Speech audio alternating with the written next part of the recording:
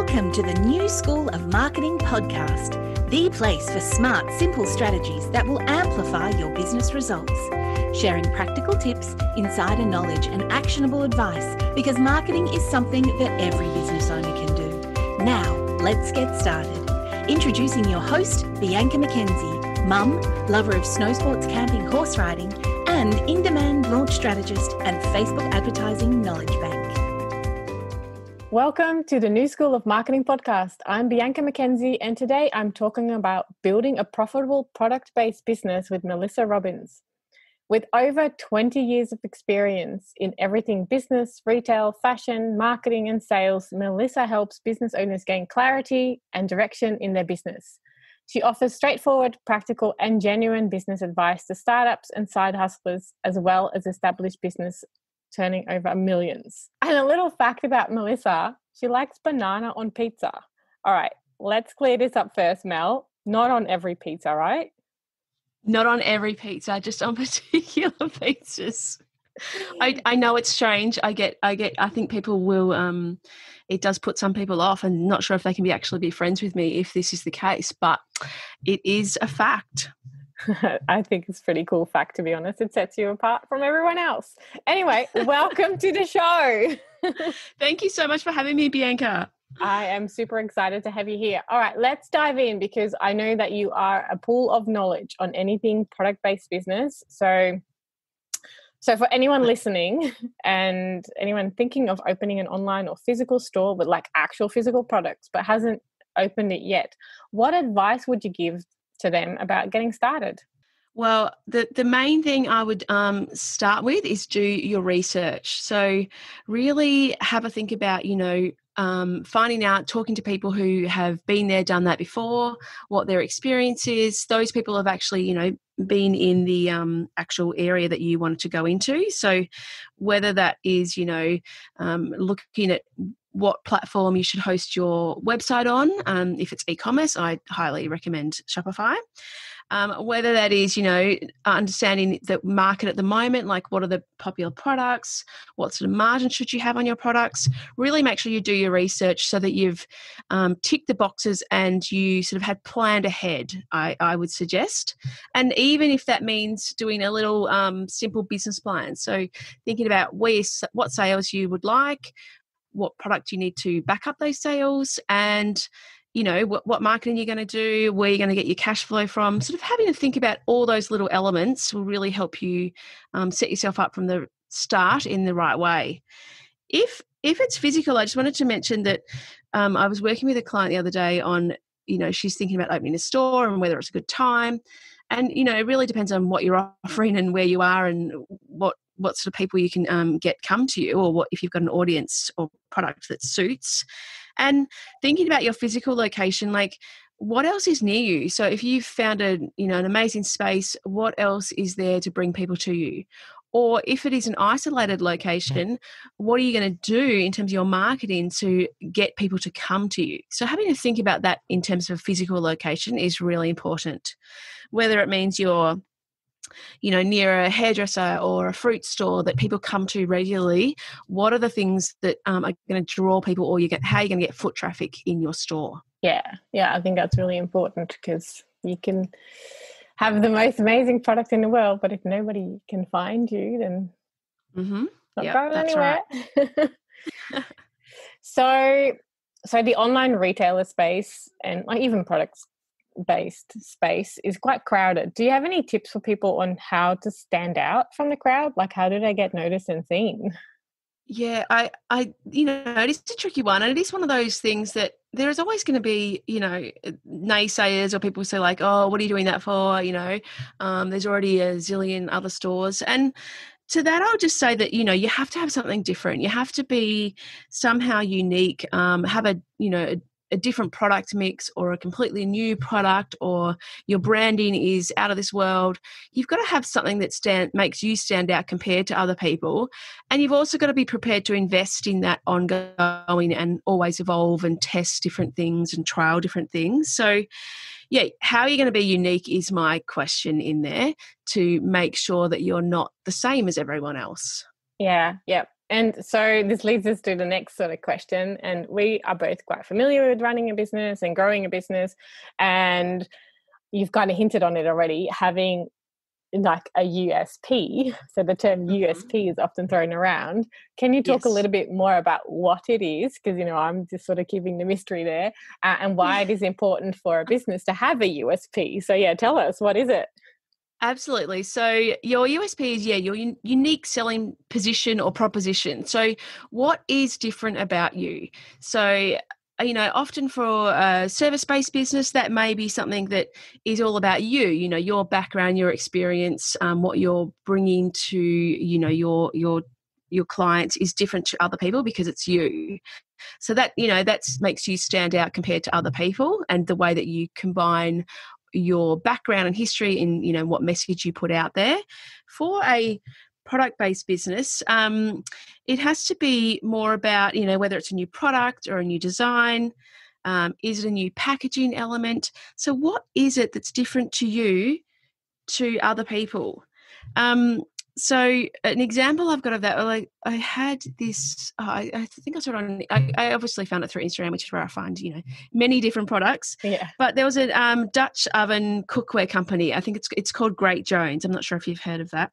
Bianca, but no, I haven't. But essentially, it's like a you know Dutch oven cook, like a Le, Le Creuset. Yeah. Um, but you know they've had the market for so long and this one is just a, a new um, primary color or you know not necessarily primary color sorry bold colors um, it's really sleek slimline they're obviously hitting the different target market to the um, Le Creuset market, but they've just got the same product, but they've packaged it and um, developed it in a way that's unique to them. It's completely different. Yeah. Um, the way that they use influencers is different to other people. So how can you?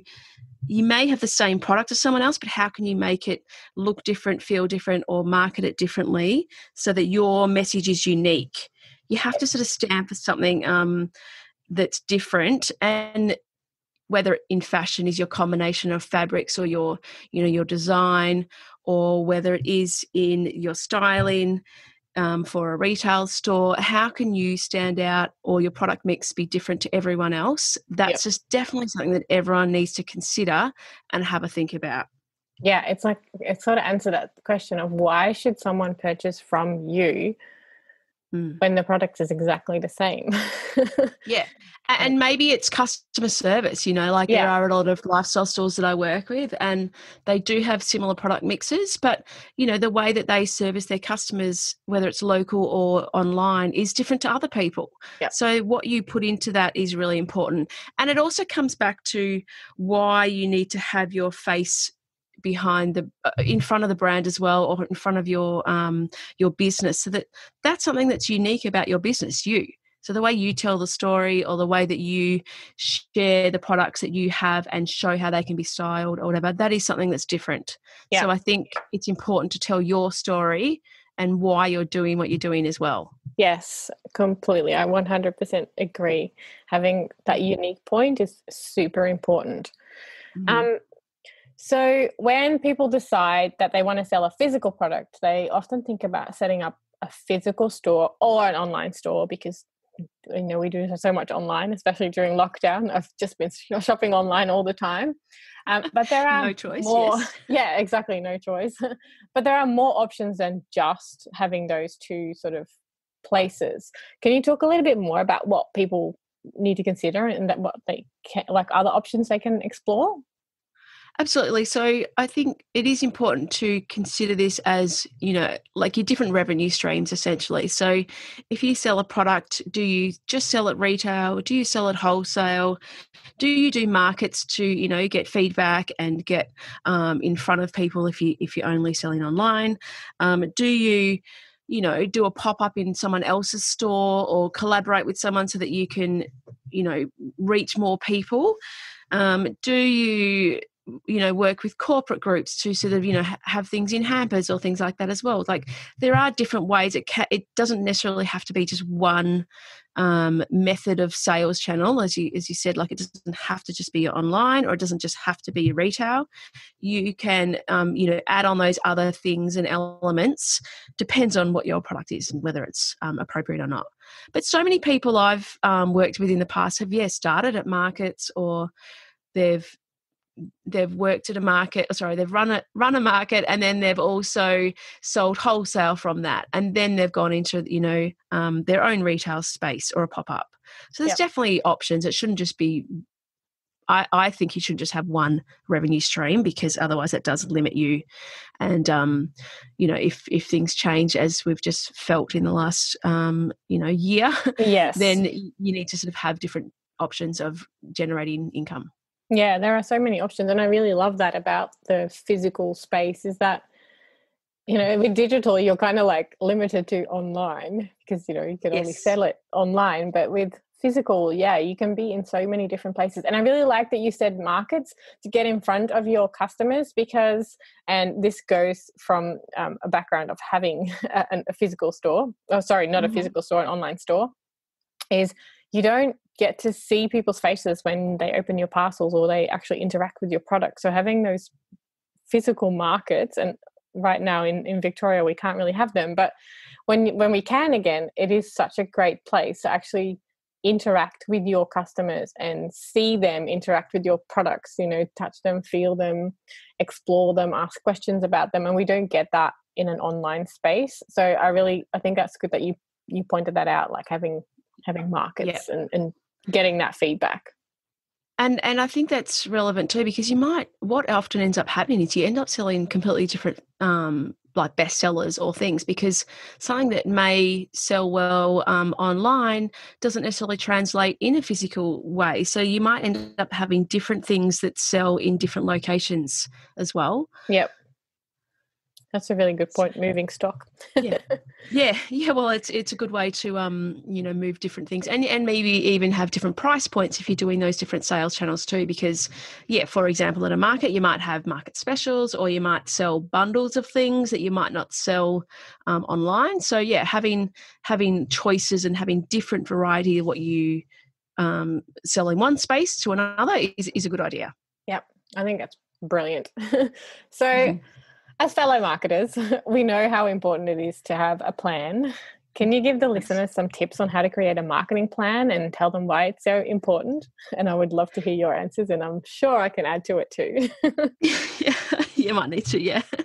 So essentially, yeah, I mean, you need to have a strategy and goals about what you want to achieve and then you need your plan to to how to action that how to achieve those goals. So you know you can't just be you, obviously marketing is all about trying to attract more people to you to have more eyes and ears find out about you and engage with your brand or be exposed to your brand. So for my um like i work with um this in my membership actually like we've talked about in the one of the first few classes that we did. You know what's your ongoing strategy of how to attract people? So you can't just be doing you know a discount promotion every month. That's that's no good. You don't want to be um, competing on price all the time. Mm-hmm. what other things can you do? And you know whether that is for product based businesses, you know, might be doing collaborations or a giveaway or um, a special gift with purchase or, you know, what sort of things can you work on in your business to have something regularly so that you always got a new way, new thing to talk about, a new, um, a new, um, you know, event happening or a new thing going on to always have interest and generate you know pull people from other other um, stores or customer bases if you're doing a collaboration because you can might be able to you know get customers from other places if they've got a like target market as well. Yeah. But yeah really thinking about you know the whole the you know five p's or seven p's of marketing like what are all the different things you know your price your promotions you know what are the products what does your packaging look like?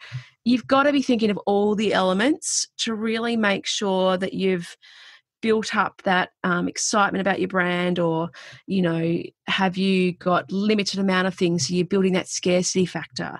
Um, do you have you know talk about something that's about to launch to put up that anticipation? What can you do in your business so that you've always got something going on um, and planning that out so that you know each each month or each week or you've got something to talk about or something to focus on? Yeah yeah i love that. When and i still do this in my business i sit down with a calendar for like yeah. six months 12 months i look at all the important dates and i love it because with retail there are so many dates on the calendar like there's after payday and there's Black Friday and Cyber Monday and there's other days. Mm-hmm. I'm pretty sure there's other days. And then there's like all the other like Mother's Day, Valentine's Day. Like there are so many opportunities to create mm. marketing pieces around those days that you like it's pretty easy to fill your calendar that way in in, in my yeah. opinion. So yeah like think about okay what can you do for this? And, and i'm doing this with my clients. I, I work with a number of retail stores and we're going to plan out well coming up to christmas. So it's all about christmas promotions and mm. um, advertising and, and things like that. So i really yeah i love that. Like there's so much to think about. And i think the reason i asked you this question is because a lot of us and me included sometimes don't plan ahead all the time we we often very much in the moment it's like all right customers here and you know orders to pack there and yeah. All right. What are we going to do to bring in the next customer? Yeah. And, and the next, and the next, and, and, the next. Absolutely. And sometimes you have to, like, I, I'll give an example of um, when I had my retail store, I had um, this gorgeous gold um, gift bag that was everyone got for their whenever they purchased something in store. And I, I had a kids' wear store, so or children's sort of lifestyle store. So I sold to mums and and as well as the kids, and I had a mini version for the kids and a mini and an adult version. And I, you know, but I had to I had to order that 12 weeks out. So I had to make sure that I had that in stock to get it for the price. I think I ended up paying a dollar ten or dollar twenty per bag. So it wasn't wasn't a cheap exercise in terms of when you're giving it out for every purchase. Yeah. But the buzz that it generated, um, and the looks on the kids' faces when I gave them this gold shiny bag, they were beside themselves. And you know, but I had to, yeah, as you say, plan that out far enough out to make sure that I had it for the right price and I could get it for the right time and then I could talk about it. And yeah, it, it definitely um, that was money well spent on that, you know, small, small little um, you know, add on for the customer. Yeah, happy face. Marketing yeah. budget for a happy face. Yeah. so you talk, that, yeah you just talked about like buying things and, and, things in advance. So selling products often involves buying inventory and being out of pocket upfront in a way. Do you have any tips on projecting cash flow and like stock levels and yeah, working around that? Yeah, absolutely. Like it, oh, look, it, it is a bane of um, you know, retail. Like you're always putting your money back into your stock, um, and it definitely it's hard to budget and plan around, you know, having money for your other expenses or other things as well as profit um, that doesn't always go back into stock. But as a um, as a you know saying in retail that so- stock sells stock, so the more you have, the more you can sell. You really have to think about. I think again, I just did this in the membership um, the other week. So it was all about buying smarter and planning um, what to spend your budget on. So you want to spend money on stock, but you want to spend money on the right stock. So how can you use the either your history or your data of what um, what you're going to what has sold well or what has done well and making sure you allocate the right amount of money to the right things. So there's no point having too much of the wrong stock um, you've got to have the right um, product mix in your in your range and really just sort of you know thinking about and, and it comes back to you know a really good point of sale system or a really good analytics that you get from your shopify or whatever it might be but you've really got to think about well or look at and say you know last season i you know sold 70% of my income came from dresses for example well you know have you got the right amount of stock for that moving forward so that you can have a similar amount next season or if you're going to spend more money on one particular product or, or a product mix, you know, can you make sure that your marketing is allocated towards those products? So, you know, thinking about your marketing plan too, if you know you're going to have this big amount of product um, you know a category of as i said dresses then you can make sure that you do some really good imagery and advertising towards those products So having the right amount of product at the right time of the right sort of mix is really crucial. And as I said, I think it comes back to looking at your data, um, thinking about what sales you want to achieve, and then if you've got the right amount of product at um, to achieve the sales that you want to achieve. Yeah, yeah, definitely. And if you are brand new and you kind of haven't invested in that, it comes back to yep. what you said at the start, doing your research really and talking to like obviously people are not going to give away their trade secrets, but pay attention to yeah what people in a similar space are doing and look at what is if you can look at what is selling in their stores and sold out and listed as sold out because it tells the story yeah and and i think that's really important as well that you know you've got to it definitely requires risk you have to take risks in this space you have to you know either back a product um, or you know if you know that you can get a product a bit cheaper um, from your manufacturer if you you know tip over a minimum um, it might be you know you might have to order 100 instead of 50 of an item but if that's the case, then you've got to make sure that you market that the right way to make sure that you can move through that product. And but if it doesn't work, move on quickly. Get rid of the product um, that hasn't worked and get your money back on it, and then try and invest in a product that is going to give you better margin. Yeah. So don't hold on to things too long, too. Like just try and turn it over. Yep flip it yeah flip it yeah and if it's if it's not going to work you know there's no point at sitting on your shelf and taking up your cash flow you're better off getting rid of things. I mean, that yeah. can be a physical shelf in a store or, you know, on your online store. Have a flash sale. Do something that, uh, you know, market it in a certain way that you're going to move through that product. Then you can put that money back into new product and new stock and hopefully generate more margin on that new um, revenue, new stock that you have come in. Yep. Great really great tips really great tips. I wish i'd known you when i had my physical product. Well i know that's yeah that is why i'm doing what i'm doing now with the membership because it is i had the retail store for years and i had it with my sister for so long and when she left it was at the point where you know she'd just moved on to a different um, area but she went and worked full time. You know you don't have anyone to bounce ideas off you don't have anyone to sort of mm. go to and so having some sort of community advice you know tips and tricks it's like i've learned a lot of these things after i had my store as well after working with lots of different stores. Yeah. so it is it's that sort of thing you know i, I wished i had it. So again yeah that's why i'm doing it. That's what i love. All right well that's the end of the these kind of questions. I have a few more questions for you. Ooh. what are you curious about right now? Oh you know what? I'm, you know, obviously I'm in, I'm in Melbourne, so I'm still obviously we're still in pretty much in lockdown, but um, mm-hmm. it's one of those things where I would interested to see how things are going to change in the retail market, in the online space, how things are going to change in the next, you know, six to twelve months. What they're going to look like? Like, are we going to take lessons learned or things that we've picked up in this last year um, and evolve or they're going to go back to how they were. I'm sort of yeah i'm interested yeah. to see what's going to happen what's how how things are going to change. I'll be curious to see that too. Mm. watch this space. Yeah. hopefully uh yeah. Doesn't have too many more surprises in store it's been full of them. Yeah.